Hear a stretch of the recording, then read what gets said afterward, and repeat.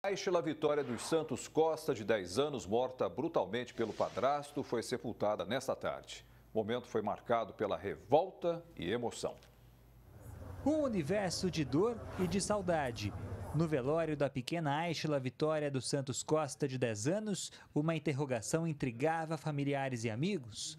Como alguém pode ser tão frio a ponto de estuprar e matar alguém? Eu, para mim, esse cara é um monstro que fez isso, né? Um, um, monstro que, tipo assim, não tem tamanho, tá?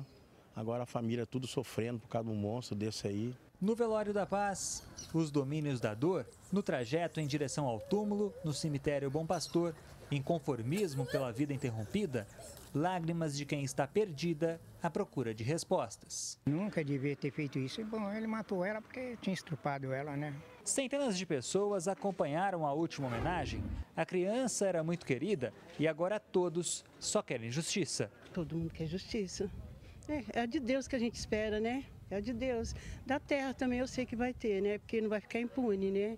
Mas a justiça de Deus é a maior. Aishla já fazia alguns trabalhos como modelo e foi encontrada morta dentro da casa em que morava com a irmã de 5 anos e a mãe na rua Itaguaçu, no alto do Ipiranga. A criança estava nua, com um corte profundo no pescoço e muito sangue na sala de casa.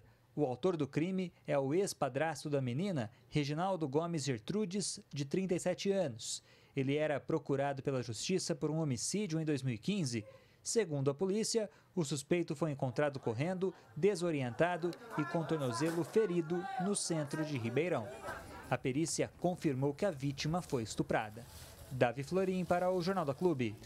O autor do crime continua internado na Santa Casa. Quando receber alta, prestará depoimento na delegacia da mulher e em seguida será levado para a cadeia. A Santa Casa informou que Reginaldo Gomes Gertrudes ainda vai passar por cirurgia com a equipe de ortopedia nos próximos dias, mas ainda sem previsão de alta.